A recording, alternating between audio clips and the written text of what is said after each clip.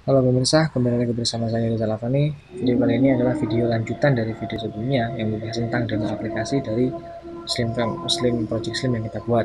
Jadi kita akan membuat satu project Slim dan kemudian kita uh, mengetesnya menggunakan project yang lain kan gitu ya. Nah sekarang video yang kemarin kita telah membahas tentang select data menggunakan JSON ya. Kita ambil data dari project kita kemudian kita yang berbentuk JSON dan kita tampilkan di dalam project yang baru untuk mengetesnya dan kemudian juga kita lakukan insert data selain itu juga hapus data dan sekarang adalah tentang edit data oke di sini kita bisa lihat uh, kemarin kan terakhir di sini ada tiga data yaitu pembukaan web, pembukaan Java dan curhat. Nah, kategori curhat ini adalah kategori yang kita tambahkan menggunakan post ya di tutorial yang kemarin. Kalau anda mengikuti tutorial yang kemarin pasti anda tahu. Nah sekarang kita akan melakukan edit data. Untuk hapusnya kan tinggal di sini aja. Kita hapus dan proses hapus ini dilakukan menggunakan ajak. Untuk editnya di sini saya uh, untuk operasi editnya di sini saya sudah menyebutkan satu satu buah form satu buah halaman. Di sini halaman HTML untuk update data untuk mengedit data ini. Nah rencananya cara kerjanya adalah ketika kita uh, mengklik link edit ini dia akan masuk ke dalam uh, file update data ini dan kemudian untuk dan kemudian dia akan diedit datanya di sini diubah datanya di sini dan kemudian dia akan disimpan. Dan ketika disimpan dia nilainya itu akan di, uh, menggunakan metode put untuk dikirim ke project slim untuk dirubah datanya Oke, sekarang kita akan menghidupkan dulu link edit ini agar bisa masuk ke dalam file update data. Caranya adalah kita kembali ke index.php. Di sini kan kita kemarin mengambil data menggunakan data JSON dan kemudian kita tampilkan menggunakan jQuery. Nah, sekarang untuk uh, kemarin kita juga hidupkan event on click untuk uh, link hapus. Ya, kalau anda mengikuti tutorial saya yang kemarin pasti anda sudah tahu di sini kita hidupkan event on click untuk menghapus data dan kemudian sekarang giliran link edit untuk kita hidupkan linknya. Oke sekarang kita tampilkan sini. Dulu a href di sini hrefnya kita tujukan ke update data.php update data.php sorry update data. Save. Refresh dulu halaman ini. Kemudian kita coba sekali lagi. Kita coba untuk mengakses update data PHP dari link ini. Nah sudah berhasil ya. Berhasil untuk mengaksesnya saja tapi di sini dia butuh satu butuh beberapa parameter untuk melakukan operasi update.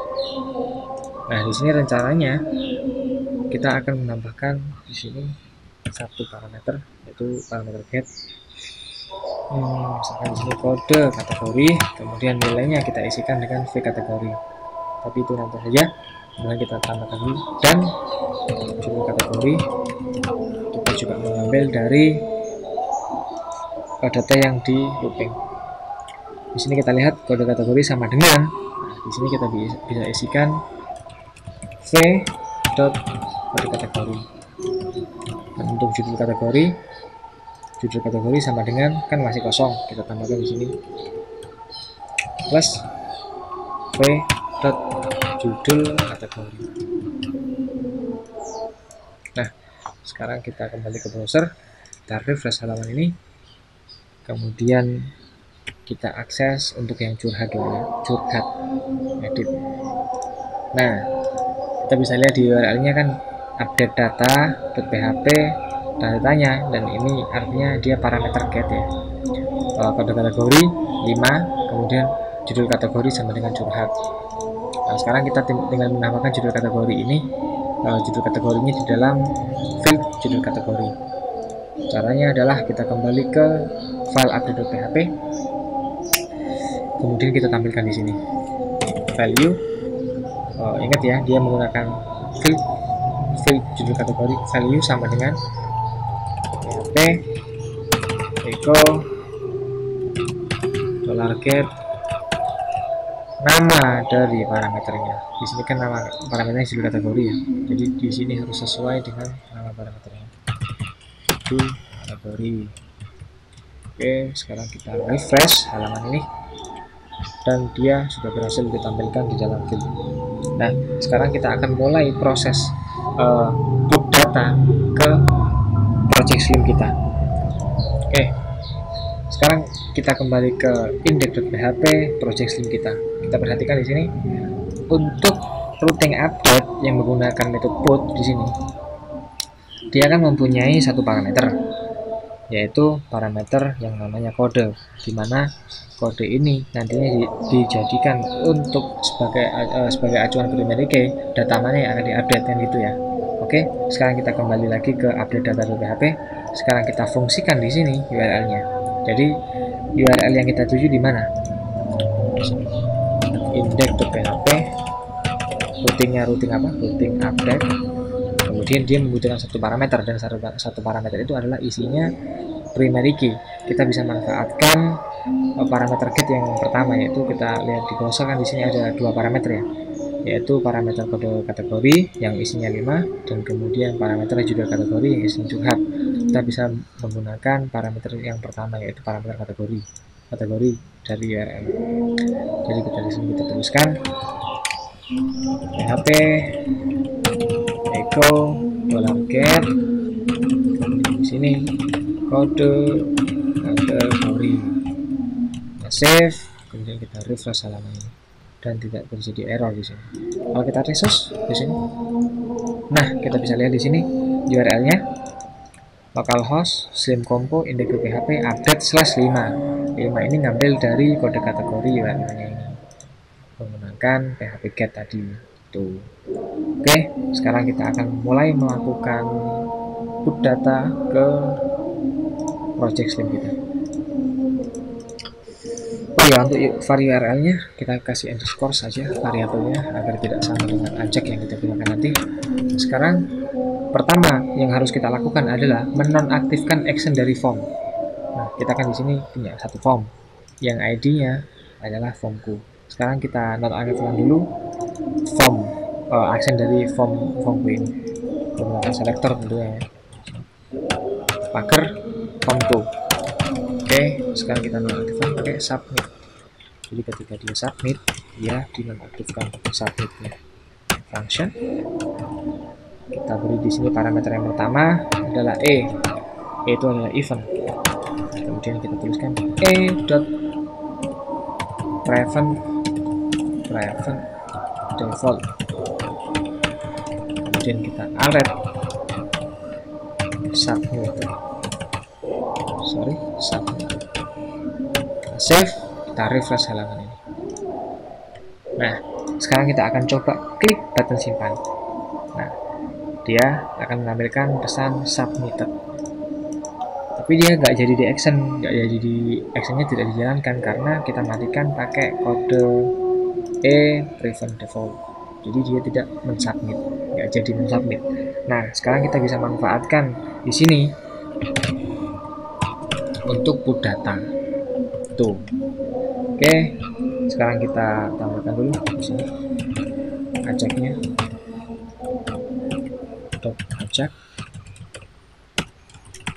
Sorry. Kita definisikan URL nya URL isinya adalah variabel underscore URL kemudian kita definisikan tipenya. Ingat tipenya tadi apa? Untuk update data kita lihat di sini tipenya adalah put. Ya ini ya. Maka di sini harus put juga. Put. Nah, kemudian di sini kita akan mengirimkan data juga kan ke sana untuk data yang baru yang akan kita simpan di sana. Maka kita definisikan di sini data. Sama dengan dia ditulis dalam bentuk JSON di sini. Namanya adalah tipe kategori. Kemudian di sini dia mengambil dari uh, field judul kategori. Nah, kita kasih dulu ID-nya di sini sebagai selektor ID ID judul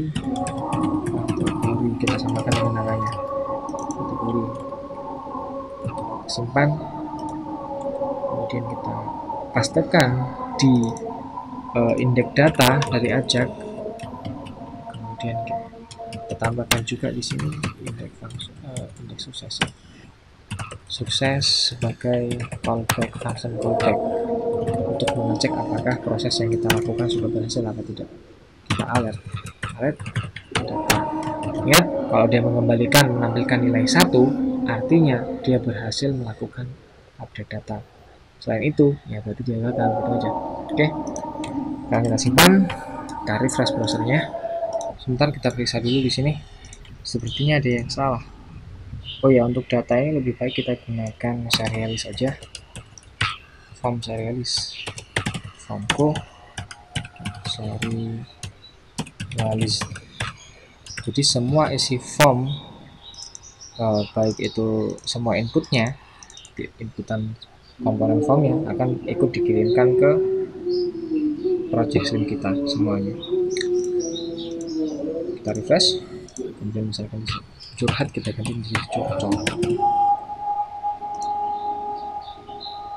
kita simpan. Nah dia mengembalikan nilai satu. Dan itu artinya operasi yang kita lakukan telah berhasil kita lihat dalam database nah curhat ganti menjadi curcol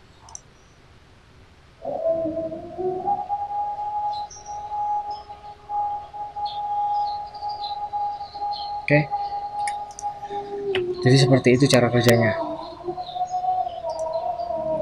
Kita untuk mengakses put, kemudian delete itu juga menggunakan ajak untuk aplikasi berbasis web. Jadi misalkan kita punya klien-klien ya, jadi kita menggunakan uh, punya sistem besar dan kita dan klien kita butuh membutuhkan untuk connect dengan sistem kita, kita buatkan aja RESTful API dan ini salah satu contohnya contoh simpelnya. Nah sebenarnya sih ada ada lagi satu di sini ada yang kurang yaitu kita tambahkan validation key. Kan uh, kalau kita sering pernah main uh, Facebook API developer itu dia mempunyai akses token kan ya. Nah di sini kita juga bisa definisikan akses token untuk setiap klien.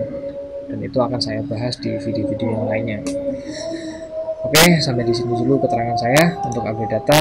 Dan di sini saya sudah memberikan tutorial mulai insert, update, delete, sama read dan mengimplementasikannya dari, dari project lain. Sampai kita meng, uh, uh, untuk mengakses data kita melalui project slinknya.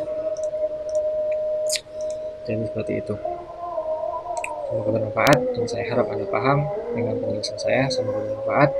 Dan jika ada pertanyaan silakan tinggalkan komentar di komen box. Oke, terima kasih sudah mengunjungi channel dan menyaksikan video saya. Sampai jumpa di video-video saya yang lainnya.